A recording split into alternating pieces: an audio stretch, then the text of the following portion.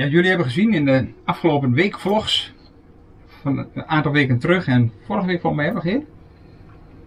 Dat ik al behoorlijk wat spulletjes bij elkaar heb gehad aan lenzen en, en noem maar op, allerlei dingen. En dat wil ik even laten zien. Het is dus wel een beetje uit de hand gelopen hoor. Ik heb deze tas. Oh, laat ik eerst even dit zien. Hier zit namelijk een, een vak voor de. Ik heb hier dit nou erin. Ik zo even zien. Maar dit is namelijk een vakje voor de laptop. Ideaal. Kun je hem hierin doen. Is, is vrij dik hier, dit schuim. Beide kanten. Dus is hij goed beschermd.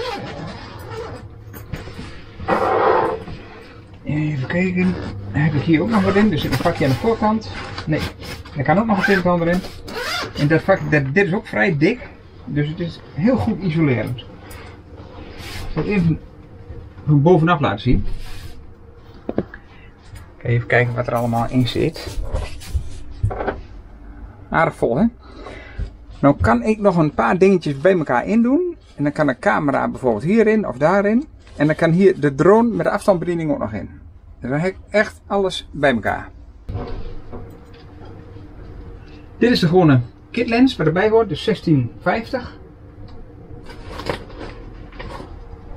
En dit was de eerste lens die ik erbij heb gekocht. Dat was de, de Phoenix lens. Dat is een, een diafragma 1.7 en 50 mm. Dan kun je echt heel mooie ja, bouquet noemen ze dat. Hè?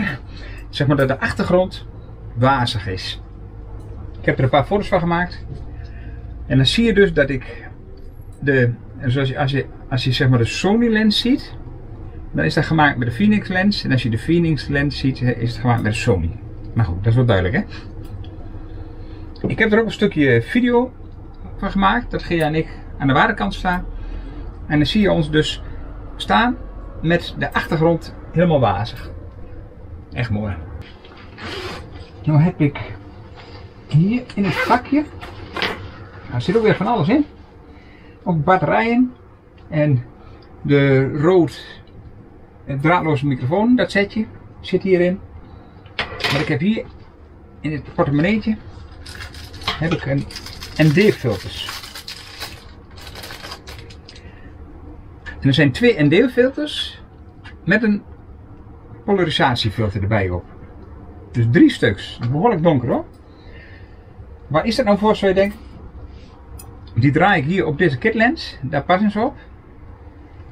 En dan kun je namelijk, um, doordat het donker wordt, kun je namelijk de sluitertijd, of de sluiter, wat langer open laten staan. Zodat je een beetje een, hoe noemen ze dat, een beetje wazig beeld krijgt. Soms is dat hartstikke mooi. Ik heb, we hebben even een paar foto's gemaakt van schepen die voorbij voeren. En dan zie je eerst die schepen gewoon zo, hè, als ze voorbij varen. Maar dan heb ik dus twee foto's gemaakt. Moet eens kijken. Dit is nou hartstikke mooi om te zien, toch? Dat het helemaal zo weg is. Ja, als je het schip echt goed wilt zien, dan moet je dat natuurlijk niet doen. Maar ja, zo een beetje ermee spelen, zeg maar, zoals dit, dat vind ik leuk. En dan kun je bijvoorbeeld ook als je een waterval hebt of zo, ja, kun je dat ook, eh, en bijvoorbeeld 3, 4 seconden, kun je dan de sluiter open laten staan, zodat dat allemaal een beetje gladder is. Dat is misschien de juiste benaming. Ik ben hartstikke blij mee met dit, uh, deze ringen. Dan heb ik hier ook nog een verlopering daarvoor. Dus dan passen die hierop. Die verlopering. En dan kan ik deze namelijk nog weer op uh, een andere lens zetten. Op deze Phoenix lens. Dus kan ik hem daarvoor gebruiken. Hartstikke mooi. Er zit hier nog iets. Het zijn echt allemaal dingetjes van een paar euro tot, ja die lens kostte volgens mij 50 euro of zo. En dan heb ik nog een paar dingetjes van, van 17 euro, dat soort bedragen. Kijk, hier heb ik nog een zonnekapje, past hier nog weer op. Dus stel dat ik een foto of video wil maken en de zon die komt een beetje, dat die een beetje haaks op die lens staat zeg maar. Kan ik die er ook nog op zetten. En iedere keer kwam ik weer wat tegen. En dan zei ik tegen Gea, ik zei ja, je moet wat bestellen.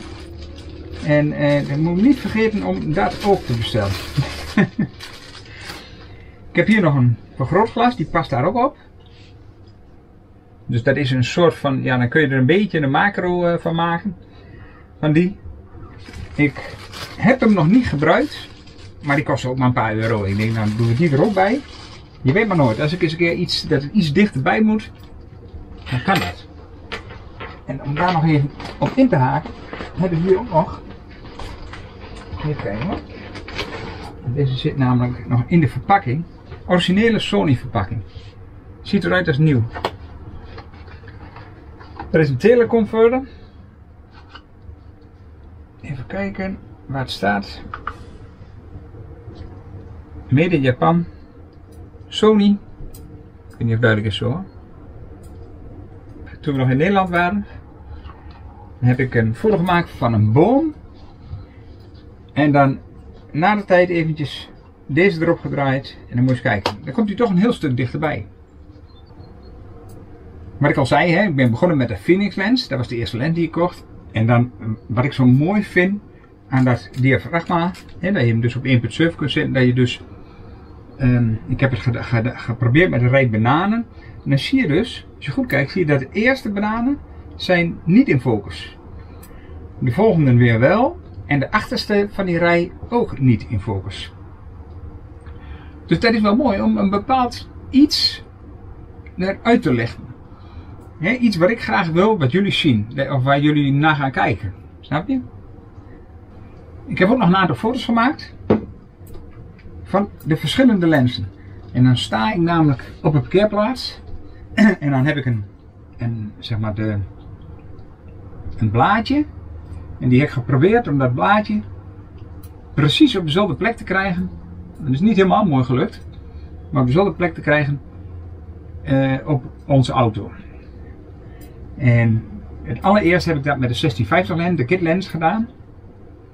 En dan zie je dus op een gegeven moment uh, het verschil met die andere lenzen. Als je nou bijvoorbeeld de tweede foto, dat is dan gemaakt met de Phoenix lens. Dus 1.7 diafragma, 50 mm lens. En heb ik nog een foto gemaakt met de 1870 lens, de Sony lens. Ook weer met het blaadje op de voorgrond. De volgende foto is gemaakt met een 70-210 lens. Ook weer zo goed mogelijk het blaadje op dezelfde plek houden. Datzelfde heb ik ook nog gedaan in het bos, het Oranje Woud. Vlakbij de minicamping Woutersberg. Dan maak ik dus een, een klein stukje video heb ik gemaakt. Dat ik eerst infocus op de Osmo Action. Die staat dan op de hoek van het bankje. En daarna infocussen op de boom die erachter staat. Volgende stukje video met de Phoenix lens. Ook weer eerst de Osmo Action scherp stellen. En daarna een stukje van de boom scherp stellen. En dan zie je al kleine verschillen. In ja, vooral zeg maar de, uh, de grootte van de Osmo Action zoals die in beeld is. En hoe dichtbij ik bij die boom ben. Dan natuurlijk die Sony lens. De 1870 mm. Ook weer eerst de Osmo Action. En dan de boom. Dan we de 70-210 van Minolta. Ook eerst de Osmo Action. En dan die boom. Dan zie je al dat hij wel wat dichterbij komt. Ja, en dit is natuurlijk de 75-300. En dan zie je het ook echt heel dichtbij komen. Hè? als je op de boom focust. Dat te denken, heb je dat nog wel nodig, zoveel lens? Maar dan heb ik er al vijf. En ik zit nog aan eentje te denken, alleen die is hartstikke duur, dus ik weet niet of ik dat ga doen. En ja, dan vraag je af, wat, wat voor lens zou je dan meenemen? Hè? Als je bijvoorbeeld ergens heen gaat, waarvan je dan denkt, nou, dit wil ik eigenlijk filmen, een interviews of zo, weet ik wat alles, ja, dan heb je gewoon bepaalde lenzen niet nodig. Dus dan hoef je die hele tas ook niet helemaal vol te pakken. Maar ik moet gewoon zien dat in de loop van de tijd, gewoon even kijken hoe en welke neem ik mee? Hè? Hoe ga ik het filmen en fotograferen? En welke neem ik mee? Dat zien we dan wel weer. Heb ik nog iets moois? Als het goed is, hebben sommigen van jullie het al gezien. Alles eruit pakken. Dat hij helemaal leeg is. Dit is namelijk een, ja, extension tubes noemen ze dat. En dan heb je, en dan kijk je gewoon doorheen. En dat heb ik al eens laten zien. En dan heb je dus drie ringen. En dan een koppelstuk die op de lens past. En een koppelstuk die op de camera past. En dan zit hier een klein lipje. Zie je dat? Je haalt dat pinnetje naar beneden, zodat je hem los kunt halen van de lens. Maar dat heb ik nou gedaan. Die zat namelijk behoorlijk vast bij de eerste die ik kocht. Want dit is namelijk ook alweer de tweede. Je ziet wel, hij is extra lang. Ik heb namelijk dit pinnetje uh, kapot gebroken. Per ongeluk. En toen dacht ik, nou dan moet ik een nieuwe. Kostte maar 17 euro, dus ik denk, nou dan koop ik gewoon nog eentje. Dan heb ik hem in ieder geval goed. Maar die lens die bleef niet zitten. Hè? Die, je, zet hem erop en dan bleef hij, bleef hij niet goed op zijn plek. Dus ja, voordat die lens eraf valt, dat vond ik ook zonde. En nou gaat het weer goed. Maar dan heb ik die andere drie ringen van het andere setje, heb ik hierbij geladen. Dus nu is hij extra lang. En ja, uh, sommigen van jullie die hebben het gezien op Instagram en op Facebook. Dat ik daar dus die macrofoto's van maak. Hè? Dus alles heel dichtbij halen. En dat werkt perfect. Met deze lens.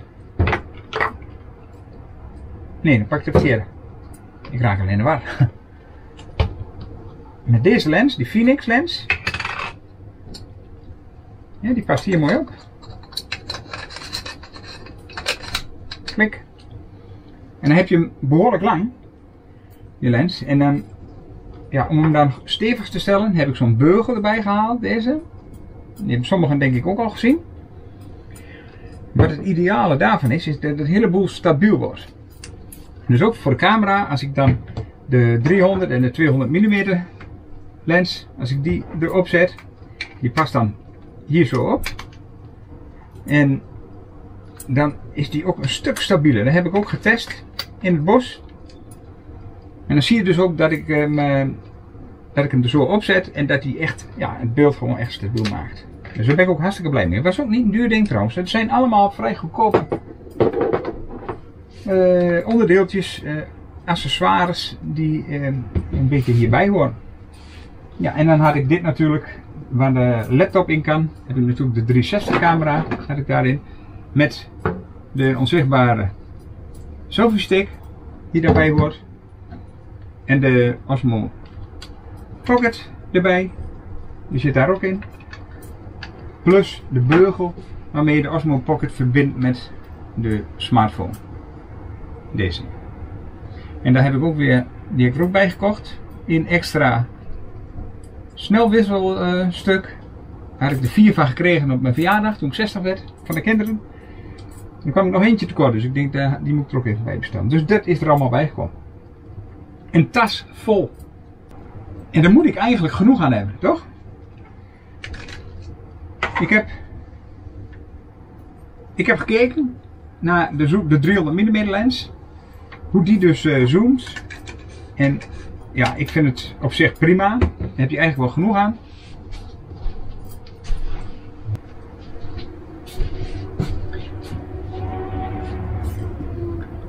Maar deze hou ik er toch bij.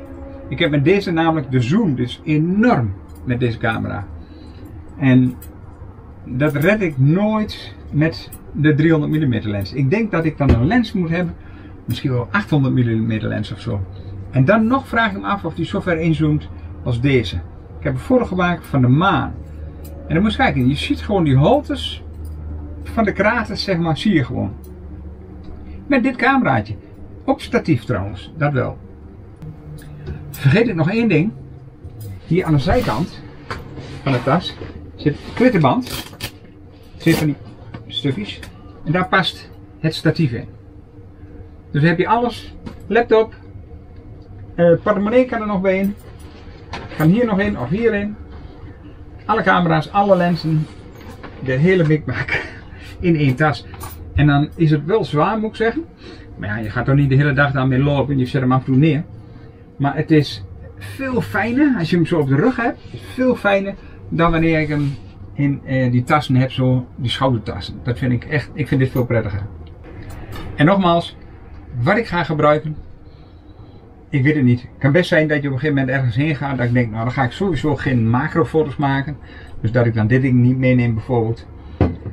Ehm, deze heb ik ook nog, hè. dat is eh, zeg maar dan kan ik de camera opzetten en dan kan ik hem nog een beetje in een hoek, kan ik hem nog een beetje bijsturen. Deze past trouwens ook op het statief. Dan kan ik de camera zo naar beneden laten wijzen. Of zo. Dus ja, het is maar net aan wat we gaan doen. Maar in principe hebben we dit natuurlijk altijd bij ons als we de auto mee hebben. Alleen wanneer we de auto niet meer hebben, als we fietsen of wandelen of zo, dan ga ik denk ik gewoon, ik, ik laat alles erin. En als ik dan denk we gaan wat verder wandelen, dan haal ik een paar zware dingetjes even eruit. En voor de rest uh, gaan we zien hoe het bevalt.